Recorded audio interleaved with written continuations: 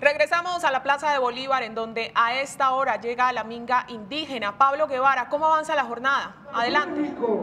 La Amazonía. Bueno, pues hace unos minutos llegaron aquí a la Plaza de Bolívar los integrantes de la minga indígena, como pueden ver ustedes ya se encuentran dispuestos en la tarima central, en donde en este momento pues se señalan cuáles son los motivos, las razones por las cuales han llegado hasta la ciudad de Bogotá, desplazándose desde el norte del departamento del Cauca.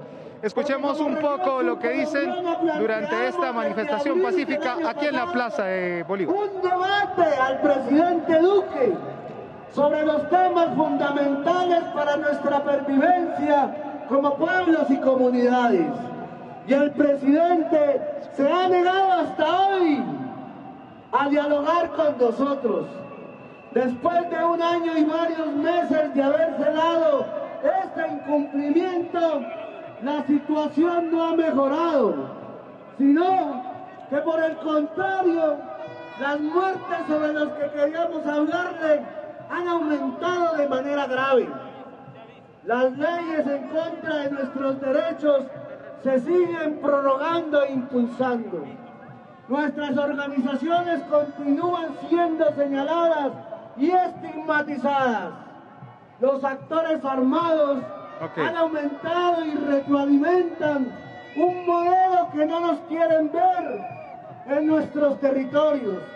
Los derechos económicos y sociales se han reducido y quienes nos movilizamos somos criminalizados y asesinados.